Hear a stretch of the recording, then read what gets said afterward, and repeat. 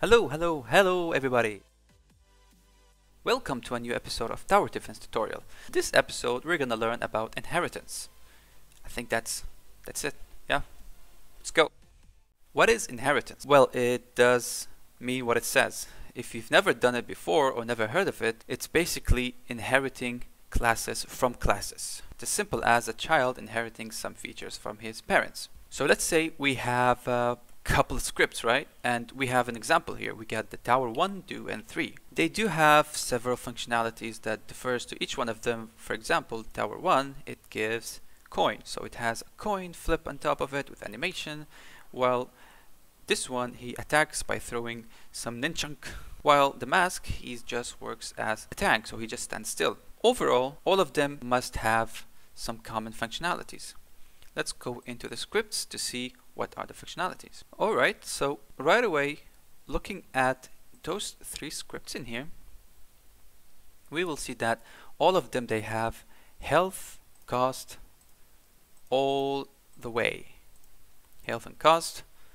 And looking at the functionalities, that everybody has their own different one, like shooting. This one has gain coins. But at the end, we'll see that they all have lose health and die.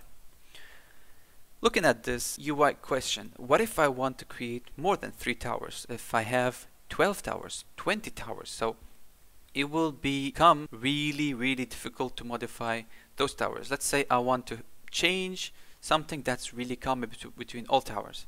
So I have to do the work 10, 12 times depending on how many scripts you have, which is not a good practice. One of the ways that we can do in here is inheritance. And what that means is we extract all the common functionalities and fields and put them in one script and let all these towers inherit from it. So that will make sure for us that in case we want to change, let's say, the health attribute, or we want to add something that all the towers should have, or let's we want to modify one of the functions in here, we can do it only once and it will apply to all the towers.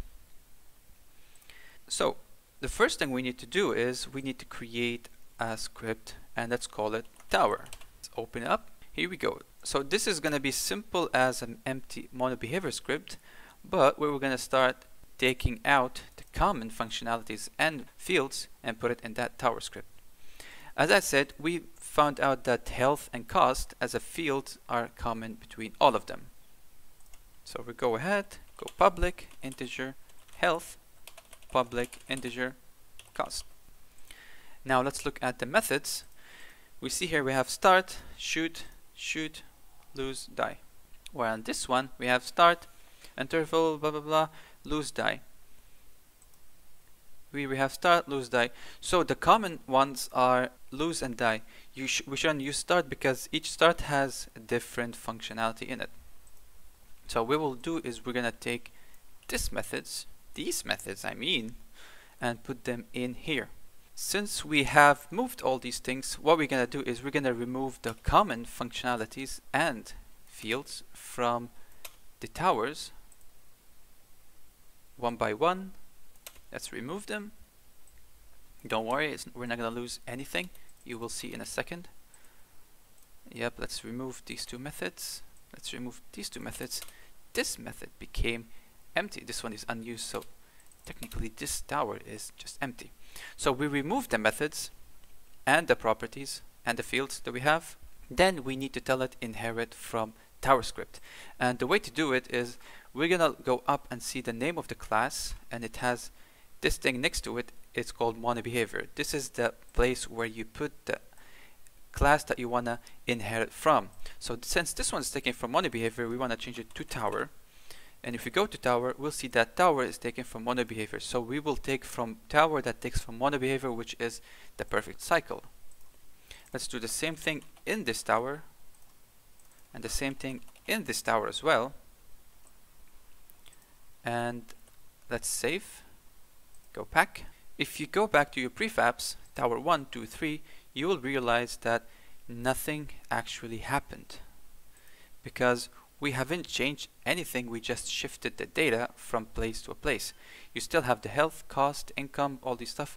So you see the health cost is all over the prefabs, which is exactly what we need. This is the first part of the inheritance, which is getting the data across from it, the parent or the base to the inheritees. I don't know if that's a good word or even a word. The second thing is we need to learn about overriding.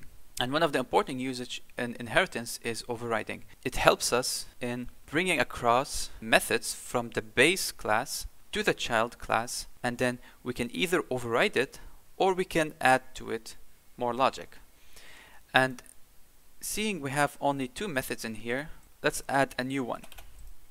Just for example, because it's easier to test on uh, start, I guess, yeah, start, rather than lose and die, because I don't think we're calling these ones at the moment, so I'm gonna use start. I wrote start and it auto-completed to be this way.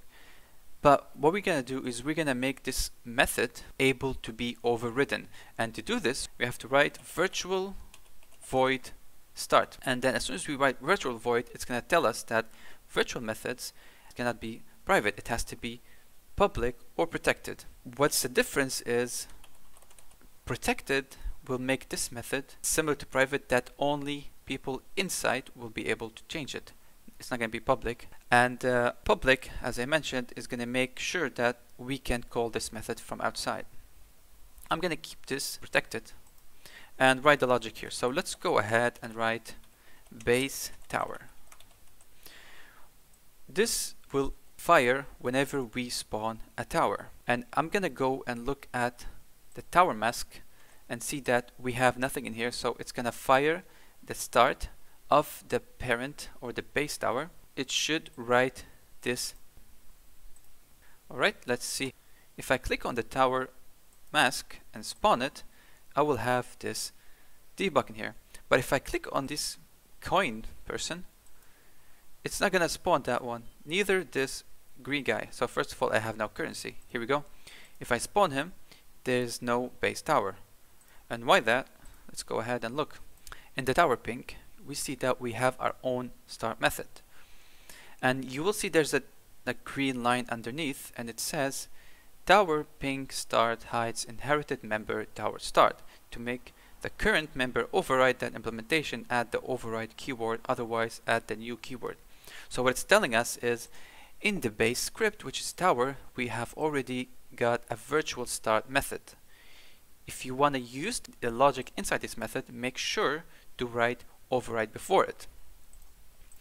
So let's jump back to the tower mask. Let's see what that, that means. If we write protected, override, void, start, as soon as I click enter, it will autocomplete and write this thing in here.